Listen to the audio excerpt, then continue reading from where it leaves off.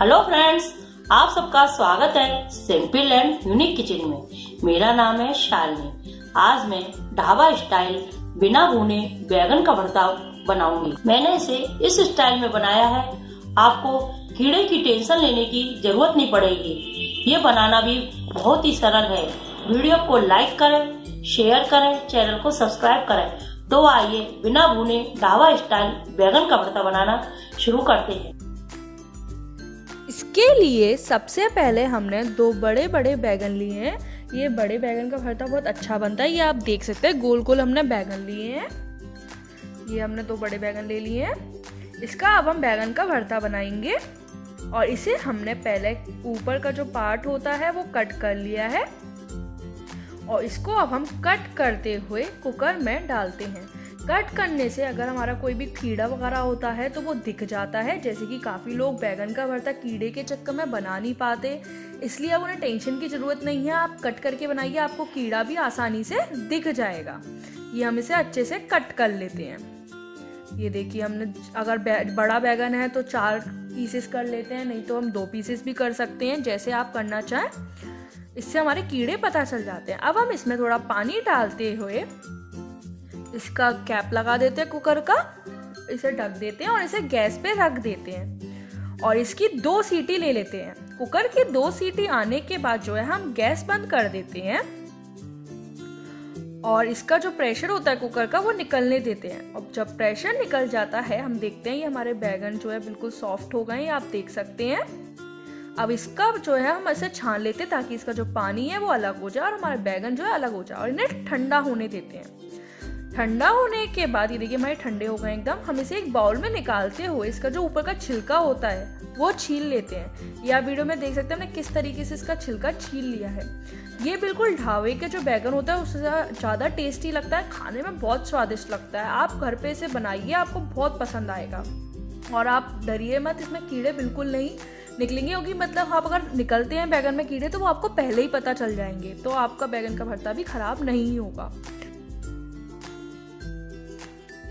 हम सारे बैगन को इसी तरीके से जो है छील लेते हैं।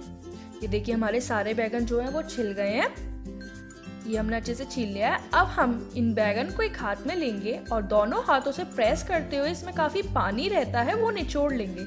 हम अच्छे से निचोड़ लेते हैं कि बिल्कुल भी हमारा पानी ना रहे ये देखिए हमारा पानी निकल रहा है। अब देखिए हमारा बिल्कुल पानी नहीं रह गया है इसमें से। तो अब हम इसे बाउल में, दूसरे बाउल में रख लेते हैं। इसी तरीके से हम सारे बैगन निचोड़ के एक बाउल में रख लेंगे। ये बनाने में बहुत आसान है और खाने में बहुत ज़्यादा टेस्टी लगता है। ये देखिए, ये बैगन हमारे, बैगन का भरता बनाने के लिए। अब हम एक कढ़ाई गैस पे रखेंगे, उसमें हम ऑयल डालते हैं और ऑयल गर्म होने के बाद इसमें हम जीरा ऐड कर देते हैं। और जीरे के बाद हम इसमें हींग ऐड कर देते हैं। और कट किए हुए टमाटर हम इसमें ऐड करते हैं। इसमें बैगन के भरते में टमाटर का ही मेन टेस्ट होता है तो इसमें हम टमाटर जो है थोड़े ज़्यादा क्वांटिटी में लेते हैं।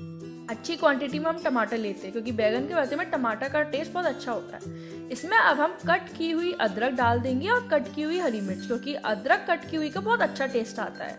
हल्दी पाउडर डाल देते हैं हम इसमें। धनिया पाउडर ऐड कर देते हैं।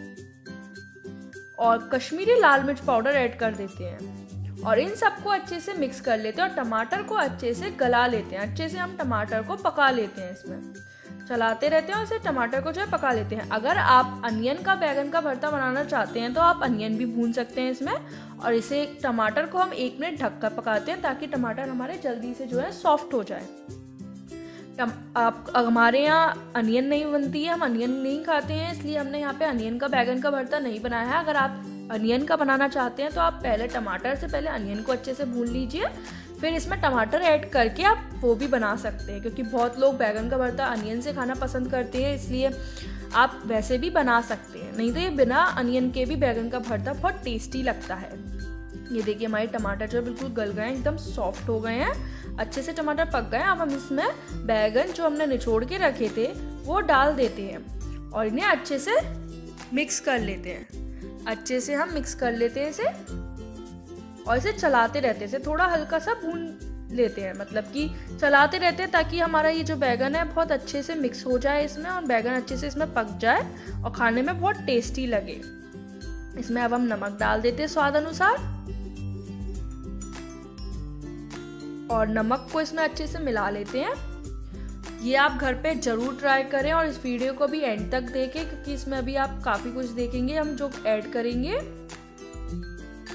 और इसे आपको पता चलेगा कि हमारा, हमें कितना भूनना है कि हमारा जब तक बैगन रहे, गरम मसाला ऐड कर देते हैं कि कितना भूनना है, ये भी पता रहेगा कि कितना चलाना है, भी हम ये एंड तक पता चल पाएगा आपको।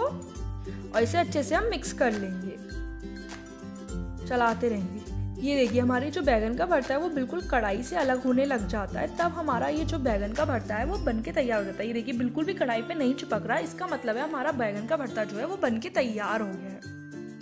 अब हम इसमें धनिया पत्ती ऐड कर देते हैं और इसे मिक्स कर लेते हैं। अच्छे से चलाते हुए मिक्स करते हैं। और ये हमारा बैगन का भरता तैयार है। हम गैस बंद कर देंगे। उम्मीद करती हूँ बैगन का भरता पसंद आया होगा। अपनी राय नीचे कमेंट्स में लिखें। वीडियो को लाइक करें शेयर करें चैनल को सब्सक्राइब करें। सब्सक्राइब करने के लिए इस बटन को प्रेस करें। धन्यवाद।